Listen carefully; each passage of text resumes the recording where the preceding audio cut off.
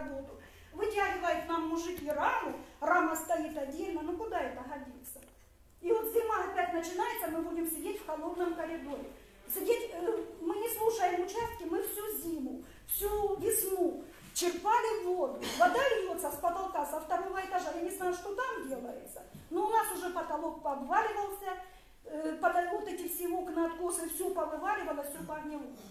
Когда же до нас дают ход? Я понимаю, везде все надо, но мы сидим 24 часа в сутки, отвечаем за людей, но мы бегаем с ведрами.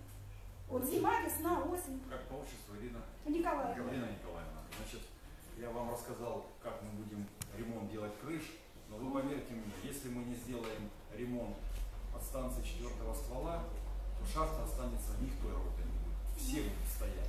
Потому приоритет был отдан тем направлениям, которые не остановить предприятие. Это турбокомпрессорная, вентилятор главного проветривания и подстанция четвертого ствола. Вот эти основные позиции мы закроем. Вы сами знаете, в связи с тем, что у нас с 2014 года ведутся военные действия, деньги не выделяются вообще никакие на ремонт, никаких крыш.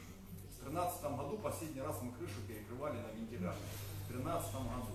И только в этом году, благодаря генеральному директору, были выделены деньги. И не в малом объеме. Потому я надеюсь, что мы все-таки дойдем до АБК и сделаем крышу. Крыша течет пока не Вы посмотрите, вы говорите, у вас ситуация. Начальника ВТБ, там не то, что там потолок упал.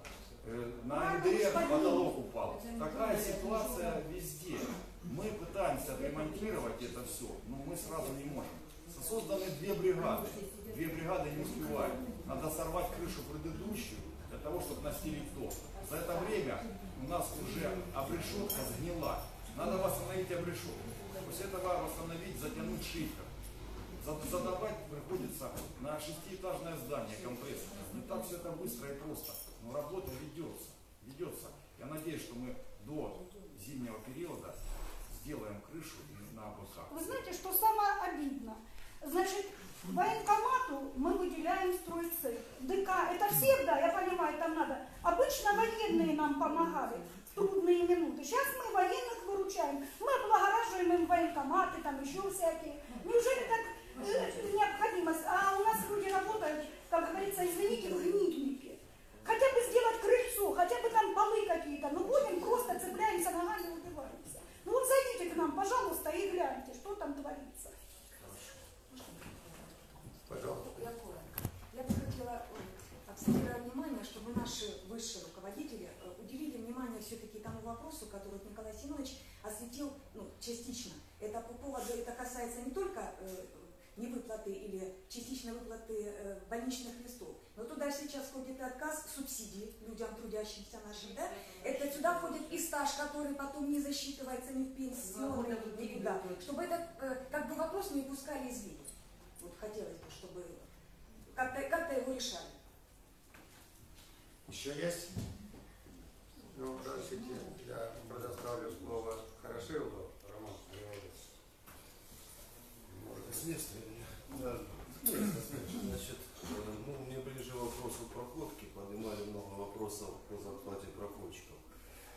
Действительно, вопрос проходки в наше время очень актуален и очень тяжел. В том плане мы работаем в основном сейчас на повторных материалах, все знаете, но приобретается очень мало. Работаем за счет шахты северной, за счет шахты южной, то есть те материалы, которые мы оттуда погашаем, сейчас используем на действующих шахтах. И, конечно, по зарплате. Значит, ну, как всегда, как бы принято уже у нас было, зарплата проходчиков всегда была между зарплатой забойщиков и грозом. Вот. В настоящее время она опустилась, скажем, на третье место среди основных профессий. Работа проходчика, конечно, очень тяжелая. Значит, э, ну, озвучили уже, что сделано в этом вопросе. То есть изменены условия премирования. Э, Насколько я знаю, есть разрешение на оплату двух двойных в месяц, выходные дни привлечения проходчиков. То есть это даст, конечно, какой-то свой коэффициент повышения заработной платы. Но я еще хочу остановиться на том, что намечено сделать. То есть в настоящее время мы подготовили обращение в министерство. э, с целью, ну, вы все прекрасно знаете, особенно по вашей шахте, сжатый воздух в водотворительных забоях недостаточно. То есть он практически в два раза меньше, чем положено, чем норматив. Вот. В связи с этим подготовлено обр- обращение ввести коэффициент на сжатый воздух. Это позволит нам ну, в среднем, пока по предварительным подсчетам, на 25-30% увеличить, вернее, снизить норму и, соответственно, увеличить процент метра. Ну, в деньгах, чтобы было понятно, это примерно даст 3,5-4 тысячи припеку действию существующей зарплаты проходит. То есть это мы выйдем примерно вот на тот уровень, как был раньше. То есть забойщик, проходчик, хвост. Ну, вот это основной вопрос, который я хотел осветить, чтобы вы знали. Вот. Это еще вопрос не решен, чтобы вы понимали, он в стадии решения. Но в министерстве договоренность такая есть. Всё. Слово предоставляется Василию Петровичу Щербанину.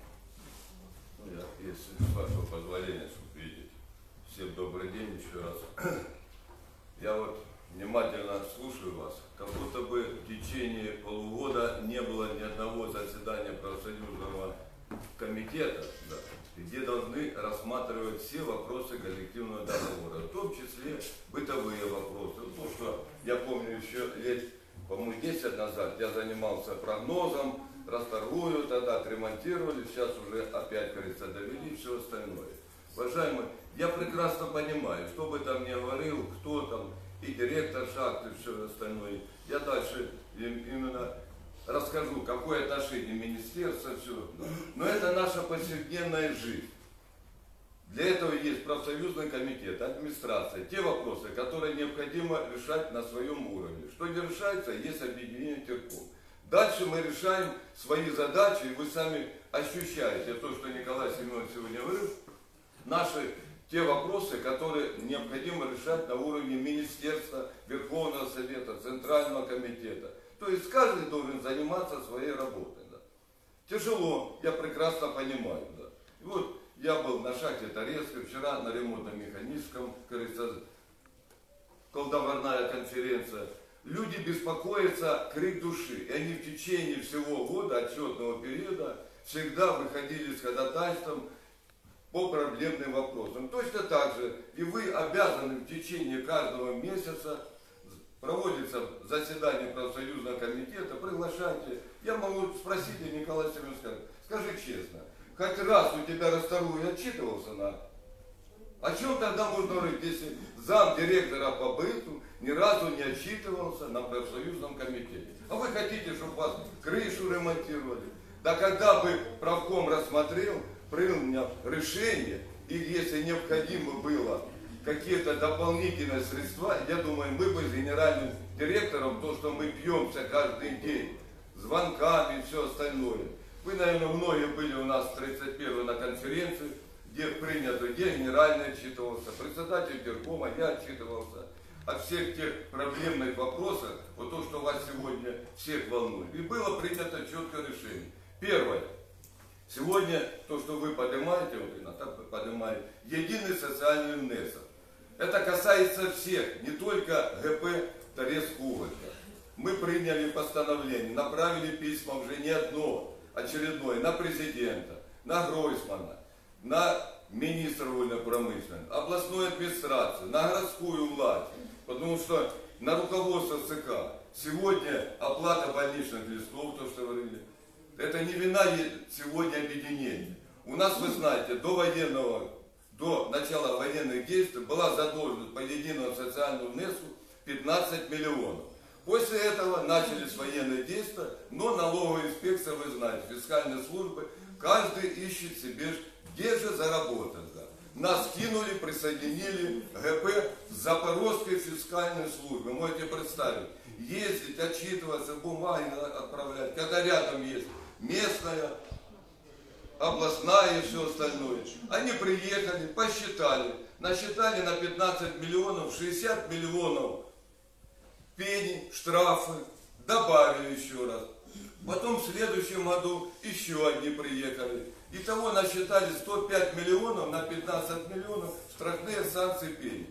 На протяжении двух лет с каждого из вас, из меня удерживается единый социальный внесок, который поступает и в пенсионный, и в фонд состраха, то есть во все службы. Да. Но правительство приняло постановление Кабинет министров, если есть задолженность прошлых лет, штрафные санкции, куда наши деньги идут? На погашение прошлых лет. В 2011 году, когда была вице-премьером по ТЭКу и премьером Тимошенко, мы выходили, тогда точно такая критическая ситуация была. О, Пошли навстречу отчимам, было принято постановление Кабинета министров и реструктуризировали. То есть списали пенсионный фонд вот это, потому что это надуманные деньги. Сегодня, то, что я сказал, 122 миллиона у нас, сегодня по министерству 10, более 10 миллиардов составляет задолженность единого социального внеска. Мы писали Рыву, я получил ответ от Рыва еще до вот этого э, э, вот обращения. Он написал, в соответствии з бюджетом, законом, і, і по то, то, і то все. Не маємо права і все. Весь ответ, да. Необходимо выплачивать, удерживать, погашать задолженности. Это виртуальные деньги. Мы говорили, сделайте то ли прогонку, либо, как ответ министра, все остальное, наложить мораторий на эти долги сегодня, да, и дать чистого листа, чтобы люди не страдали. Ко мне сейчас приходят стажа, по два с половиной года они засчитываются, льготный стаж, человек работает, удерживается, все остальное. Больничный. Ну еще правительство в апреле месяце новое постановление приняло. Сначала в том году одобрили, как будто же надо людям пойти навстречу, насчитали субсидии на 70 миллиардов, да, посмотрели, а грошей-то в казне нету, да. В этом году принимают новое постановление на 50% уменьшить субсидии, в том числе и коснулась она. Даже человек купил корову, да, все, субсидий не положено, да. Зарплата не соответствует, да, выше все. И сегодня работают все социальные службы, да, как бы уменьшить на 50% субсидий. Поэтому мы с вами, то, что я сказал, направили везде письма. С областной администрации, от руководства пришел ответ. Вы знаете, какой ответ? Соответствует законодательством, то-то, то-то. Областная администрация не має права в, в- не вникать, а да, вмешиваться в хозяйственную деятельность да, угольной ГП Торецкого. Точно так же наш руководитель города, ну, я ж ему вручил все, Василий Петрович, а что нам с вашим письмом делать? Как вы? Решать вопрос, помогать необходимо, совместно все. Ну вы знаете, мы тоже не имеем права вмешиваться. А куда вы имеете вообще право вмешиваться? Вы извините, если шахтеры кормят сегодня город, благодаря только нашим отчислениям, вы сами прекрасно понимаете, сегодня пенсии, сегодня все эти льготы, которые необходимы, все остальное. Вот это ответы. Поэтому ждем сейчас сегодня все-таки еще раз, что дальше. Второй, второе постановление, ну, нас уже всех возмущает, на всех где приход- приходится выступать перед министром, на пленумах, везде, все. Сегодня у нас активов на 90 миллионов Держуглепоставка забрала уголь на это государственное предприятие на 90 миллионов. И каждый день генеральный, я, был на режиме, сдавали тоже, с комиссией сидит, все специалисты министерства, генеральный докладывает все, они давали. А что вы так много материалов купили, вот это все? Да вы посмотрите, какие мы материалы и какая цена сегодня. То, что было те года, вы знаете, каждый месяц минимум на 10-12 миллионов только на технологии брали. А сейчас на какие-то 5-6 миллионов и то кредит берем, так уже цену в 2-3 раза больше, да. Не то, что какая заработная плата и все остальное. Я поднимаюсь, говорю, дайте хоть мне слово. Говорю, вы знаете, мне просто жалко вот этого человека, Владимира Анатольевича. Каждый день уже на селекторы слушает, каждый директор начинает. Путевая мелочь надо, то надо, то ГСМ необходимо. говорит. А денег, да, начинает звонить углепоставку, потом меня спросит. Ну дайте хотя бы 200 тысяч на лес, чтобы не остановить. Детей забирали с пионерского лагеря, забирали деньги с родительской платы, с питания, чтобы не остановить технологии. Они сидят все это, человек 15, Василий Петрович. Ну это вот там, где там? На шестом кажется, это углепоставка. Так что ты теперь делать, говорю, Господи. Вот это мы поэтому приняли постановление, направили телеграммы руководству ЦК, министру, я напомню, заместителю, немедленно принять делегацию нашего государственного предприятия. Потому что задолженность, как я сказал сегодня, на 90 миллионов, и на складах более на 70 миллионов сегодня угля, как сующего угля, при той температуре и все остальное, можете представить. Спасибо Мамченко организовал такую встречу. Ну, сначала он подсунул, извините за такое выражение, замминистра Коржина. Тот начал поплакал, говорит, я с ним каждую неделю созваниваюсь. Перед этим буквально я звоню, когда уже на грани остановки не леса все, Анатолий Васильевич, генерал вам звонил, ну ситуация критическая. Ну, вы же видите, сколько денег все. Василий Петрович, грошей немає, но вы держите. Ну вы уже как Медведев, говорю, точно разговариваете. Смотрите. И точно так же здесь он нам показал, куда наши гроши ушли. Те объединения, которые практически не добывают угля. угля. На Лисичанск наши деньги пошли, на Первомайку, на Селидово все. Подождите. Плюс, кроме этого, перефинансировали за будущий уголь Селидова и Мирноград 450 миллионов. Можете представить, да? Лисичан 420 миллионов. Добычи, не имея угля, можете, там цифры колоссальные. А мы с вами с плюсом работали, работали, ну уже говорит, это замминистра. Спасибо, ну вы же дотацию получаете. А все получают, кроме Львов, Лугиля, все получают точно так же. Так вы же, извините, какой у нас труд, да? Ну, потом пришел министр, поздоровался со всеми. Вы знаете, что мы брали Романа вашего, вот Аниксима с собой, заводчика, красавца, да, проходчика шахты Торецка, думаю, пусть послушают, да. Ну, чего, он тоже поплакался, министр, ситуация сложная, вы бачите, и все остальное. Прошу извинения, Василий Петрович, что ваши гроши пришлось раздать, все. Ну, вы знаете, там же люди хотят кушать. Мы сидим, все, Юрий Степанович, а? А это что, не люди или что? Говорю? Может, у вас какие-то там резервы есть. Какие резервы? Вот, 90 миллионов. Плюс на складе 34 тысячи, умножьте на 1820, почти что за 70 миллионов. ЖД вагоны. И на- начал, говорю, я приехал не от себя, вы извините. Вот то, что вы сейчас рассказываете, я через два месяца вам обещаю все гроши вернуть. Говорю, 22 сентября будет ровно год, как я вот, вот здесь сидел на коллеге, выступал перед вами, был полный зал. Ви пообіцяли при всіх, Василь Петрович, нікому гроші не буду давати, не Лисичанську, я вже зрозумів, що. Так ви извините, в Лисичанській 4 тисячі трудящихся, и никакого передачения, оптимизации. А мы досокращаем, что, что сегодня, да, и фонд оплаты труда у нас два, меся- два раза меньше, чем именно в Лисичанске. И угля нету, да. Но вы их финансируете. Первомайка, Селидово сегодня меньше суточная добыча, чем, но при этом 8 тысяч трудящихся. Так что же нам делать? Вот, говорю, сидит Роман, заводчик, посмотрите, я говорю. Что ему надо, чтобы обработать свою тарифную ставку, прокормить семью, соблюдать технологический паспорт, в первую очередь нужно лес. А лес у нас с колес. Машина пришла, переработали и быстрее в лаву. Да. Дальше что ему надо? Воздух в первую очередь. Стационары добитые, говорю, до ручки уже 80% износа. Мы, у нас программа энергосбережения. Хотим два Самсунга купить, все остальное. Для этого тут только деньги. Дайте денег, все остальное. Он так смотрит, Василий Петрович, а у вас что, 21 век? Вы что, на отбойный молоток работаете? Можете представить, министр говорит, вы что, на молотки работают? Ну, генерал да, у нас есть механизированные две лавы на шахте центральные, щитовые лавы и все остальное. Но это 30%. А я сразу говорю, Игорь Степанович, два года ездить с бизнес-планом по 42-й лаве, перед Новым годом вы обещали 22 миллиона. Так вот, говорю, чтобы увеличить добычу, даже программа подготовлена на 900 тонн суточная, нам нужно все нашего 37 миллионов. Нам не надо вот те кредиты, которые вы пообещали, 22 миллиона, третий год обещаете, сейчас опять сказал. Вот я уже договорился, может что-то дадут. Так нам нужно будет за 22 миллиона 35 миллионов отдавать потом. Отдайте наши 37 миллионов, и мы разберемся, все, что надо.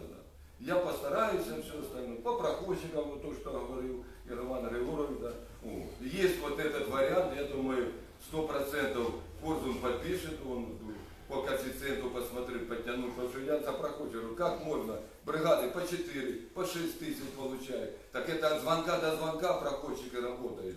Вы понимаете? Заработная плата, посмотрите, все остальное.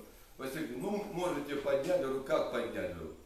Дайте разрешение. А нет, вы же дотационы мы не имеем права. Львов, да, вот они на 40%, потому что они дотации не получают. Так а что нам делать? Вы же обещали, средняя зарплата будет 20 тысяч, а сегодня какая заработная плата? Вот наша где боль, вот это все остальное. Поэтому, ну давайте по минимуму, впереди праздник, День шахтера, надо людей поздравить. Хоть награды получить, все остальное, минимум 400 тысяч. Ну, минимальную заработную э, заявку. Вот отправили на 8 миллионов, пообещал, в том числе на подготовку к зиме, на футировку, на двигатель шахты центральную, здесь много, на ремонт крана, все. Ну, Три дня прошло, пока ни ответа, ни привета. Сегодня с утра, говорит, Владимир Анатольевич будешь на конференции, я с утра начну бомбить, и потом вы давайте да, все остальное. Так дело даже не в том, я вот вчера, сегодня созванивался, день шахтера, 21 числа область проводит торжественное собрание. Едут на, наши шахтеры, наградить ведомственные награды. У министра держать все ведомственные награды, он не подпит. Некогда ему подписать. В том году за сутки до праздника только подписал ведомственные награды. Я уже не говорю за правительство, которое три года обещает все остальное.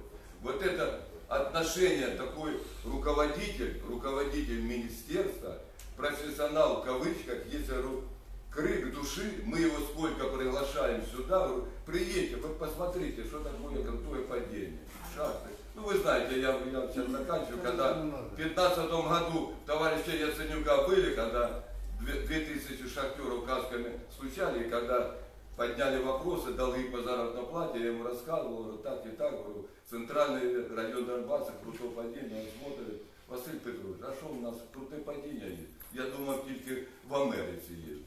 А мы Одесса, говорю, так и министр говорит, как это так, вы еще над понял молодцы. Поэтому деньги у нас есть, но эти все деньги находятся вот там, да. Поэтому сейчас задача поставлена до Дня Шахтера вырвать вот эти 8 миллионов, чтобы не остановить на производство в первую очередь, провести наши, наш праздник профессиональный. А после этого то, что Николай Семенович говорил, миллиард четыреста, это буквально до сентября хватит. И все. Потому что просили 2 800, чтобы зарплата была. Но до сих пор вот тот закон, который до сих пор президент не подписал, даже миллиард четыреста, потому что ищут с каких статей, вот сегодня же министр, я только звонил за, за, секретарю, говорит, будто бы вчера Первомайка пообещал подбил шахтера. Нас сунули куда? Спецфонд кабинета министров. А там кто сидит? МВД, силовые структуры, финансирование, автодороги, ремонт вот этих автодорог, да, и нас туда.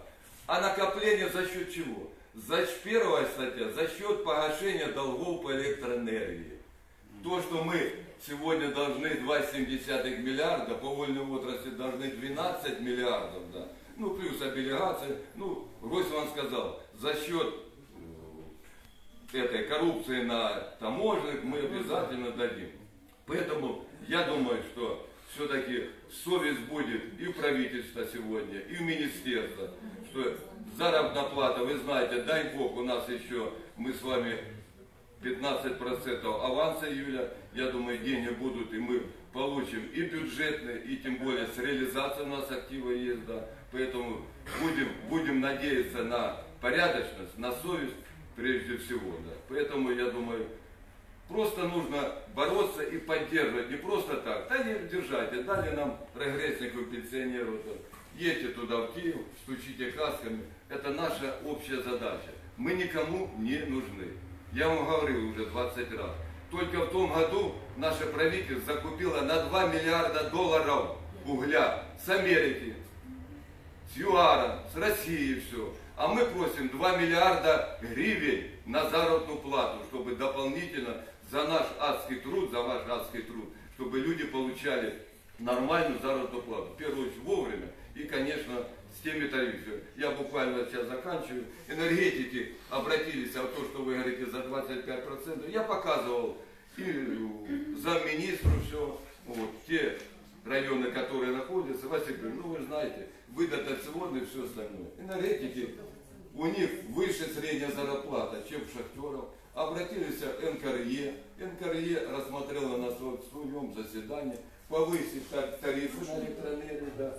И за счет этого поднять энергетиков, трудящимся на 10,3% заработной платы. Я вчера Марченко сказал, да, проведем съезд 11 числа сентября, и я думаю, будем ду- душить наше руководство, начиная с Центрального комитета, министра, потому что другого выхода не будет. Не будем вырывать, нам никто, мы никому не нужны. Спасибо. Слово для ознакомления с постановлением нашего расширенного парткома Рашид я читаю. Основная часть. Акт проверки выполнения коллективного договора за первое полугодие 2018 года утвердить. Работу, проведенную руководством э, шахты и правком